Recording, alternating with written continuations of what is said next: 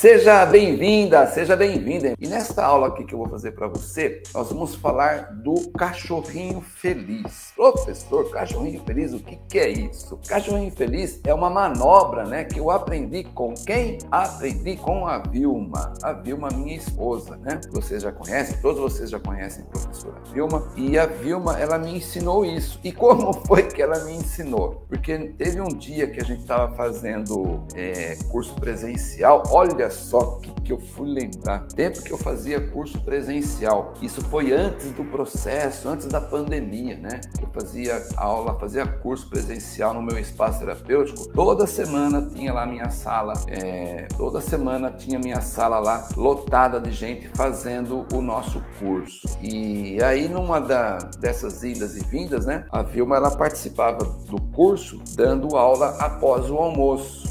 E após o almoço que a gente tinha a nossa aula prática. E a Vilma conversava com as alunas, principalmente questão de ética profissional, né? Só para contextualizar. E aí, é... aí a Vilma entrou na sala, né, para fazer a parte da aula dela, e foi no momento que eu estava finalizando a massagem numa das alunas, né? Que a gente trocava massagem, eu fazia, monitorava a aluna que estava fazendo, eram turmas de apenas quatro pessoas, às vezes eu colocava cinco pessoas, mas era turma super reduzida. E aí eu estava fazendo massagem, eu estava finalizando a massagem na cliente. E aí eu finalizei, aí ela virou para mim: "Você não fez o cachorrinho feliz?" Eu falei: "Hã?"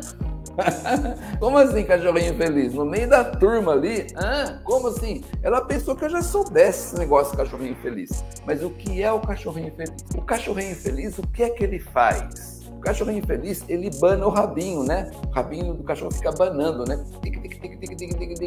Então, o que é o cachorrinho feliz? É fazer isso aqui, ó. É fazer o pé, fazer esse movimento aqui. Tá vendo esse movimento aqui do pé? Parece o rabinho de um cachorro. E como você faz esse movimento? Eu vou pegar o pé aqui, ó. Na aula prática você vai aprender, ó. Ó, tá vendo aqui, ó?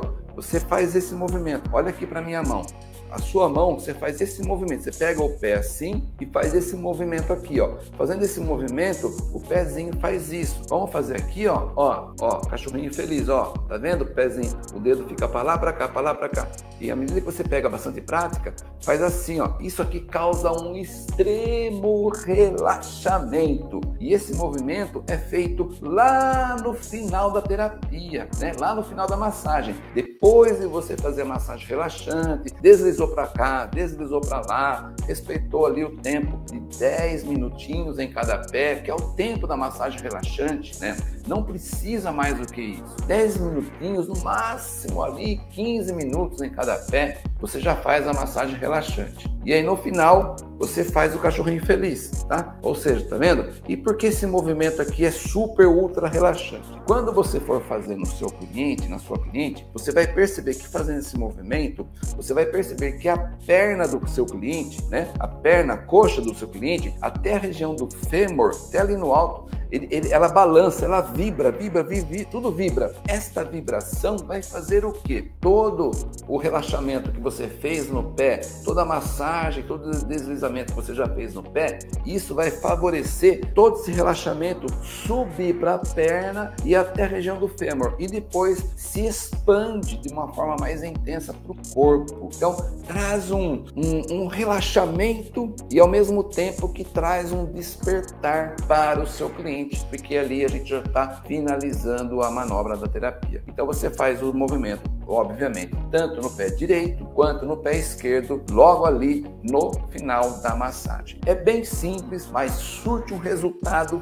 fantástico, ok? Então assim a gente finaliza essa aula, lembrando, né? Lembrando, né? Lá quando a Vilma me ensinou a fazer o cachorrinho feliz, coisa que eu não sabia, ela pensava que eu sabia, mas eu não sabia. E que bom que ela entrou naquela hora que eu estava finalizando e eu ainda não tinha feito. E aí eu pude aprender naquela hora com ela.